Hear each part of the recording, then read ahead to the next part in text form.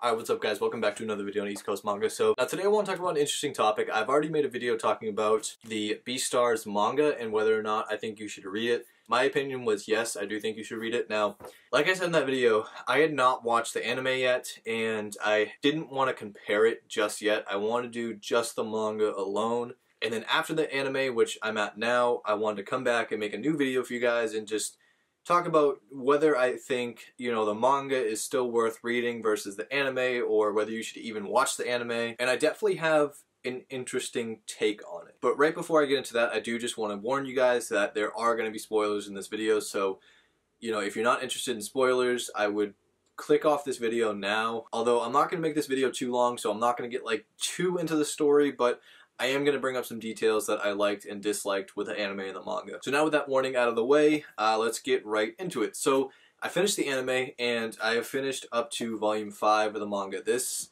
volume was sick. So this volume basically ends off, for anyone who hasn't read it yet, with Legoshi taking out the mob boss, saving Haru, and then Louis coming in and like just absolutely popping the mob boss and we don't really know what happens after that. His his goonies rush in, and then it kind of cuts. And then the very end of the manga is Legoshi and Haru in the uh, hotel room, and it basically cuts off there. So the anime does go, you know, probably a third or halfway through the next volume that's coming out. So I've already kind of gave my opinion on the manga, and I'll slightly get into that, but I want to start with the anime.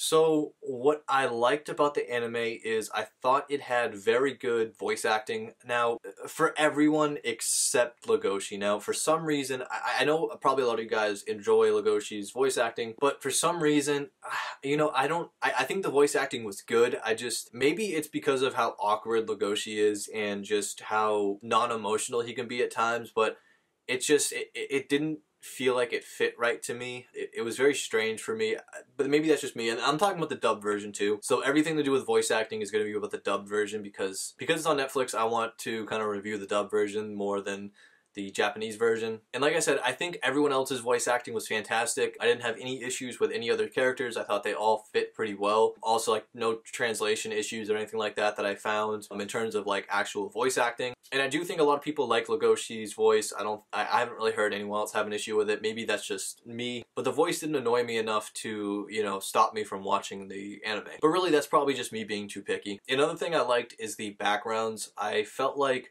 it was a lot easier to distinguish and really get an idea of the setting and where these animals are throughout like any kind of scene. I think the anime really just brings the setting to life, which is awesome because it's such a world building manga and anime that I think it's very, very important to have the background like stand out and the setting stand out. So that is something I really enjoyed about the anime. Another thing I liked was it didn't feel like it was too rushed or that it like lagged on too long. It it followed the manga pretty close. I think there's 12 episodes.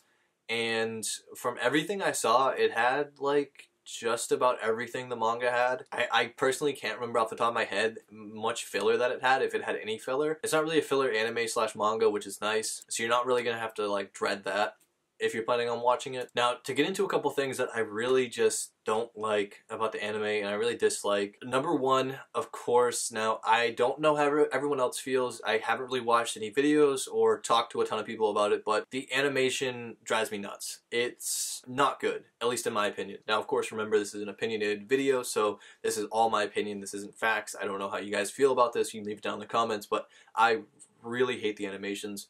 I think the actual artwork and the characters and everything, I think everything's drawn really well. I have no issues with that. And I think this might be on Netflix. I think this is Netflix's maybe issue. Now, for the most part, the animations, they're definitely different animation style and it's not that it being different is what I dislike. It's just there's certain scenes where everything feels like it's so like glitchy and slow. Like it, it just feels what would the word be? I guess you could say choppy. But yeah, honestly, it feels just very choppy and just not not smooth. And once again, I don't know if that's a Netflix issue. I don't know if that's how, you know, they, they do their animations. And for the most part, I didn't really notice it, but there was certain scenes where I'm like, oh my god, this is brutal to watch right now. And once again, I don't mind the art style. The art style doesn't bother me. I actually kind of like it for this series but it's just the movements and the animation in certain points just drove me nuts. And then next, I feel like the I feel like the anime wasn't, it didn't feel as dark as the manga. Now,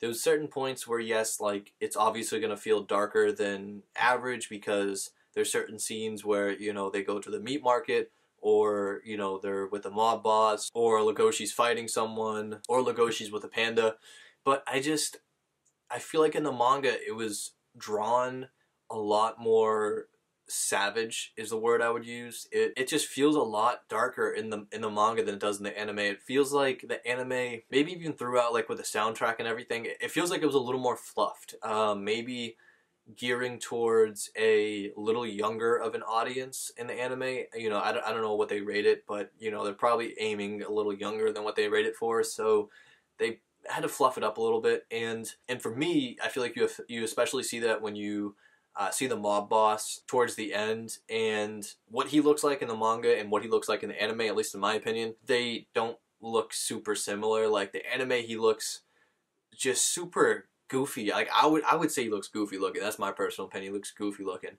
Whereas the manga, he looks like a savage. He he looks dope in the manga. Whereas in the anime, I'm like, like what? I just oh my god, it, I don't know. That just kind of drove me nuts. And I know it's kind of small things like that, but you know when you have a mix of that, and it seems like in the anime they focus so much on the romantic relationships. I think that could probably drive away certain consumers like myself because I'm I'm reading and watching this more so for everything else that's going that's going on in this series. Like if you see my collection, I enjoy, you know, darker stuff. I like um, you know, world building. I like really like great plots, but like romantic interest and relationships and stuff like that, it's not super interesting to me in this in this manga and anime. Um, I know for some other people it is, but that's not. But that's not really what I'm here for. And I feel like the anime kind of focused a little more on that than the manga did. And like I mentioned, I think that's also due to case of like soundtrack and you know songs that come on and stuff like that. Which obviously you don't get songs and stuff in the in the manga. Although compared to different uh, adaptations, I think this was really good. Unlike my Demon Slayer opinion, I think the manga is actually better than the anime.